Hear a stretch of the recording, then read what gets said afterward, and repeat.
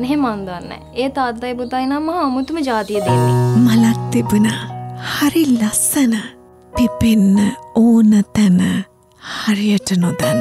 ඇයිද මේ ආයයි කෝල් කරන්න යා අපි කරන්න නොක්කුම කරලන දන්නේ ප්‍රේමයේ සුවඳ විඳගන්න ලැස්ති වෙලා ඉන්න.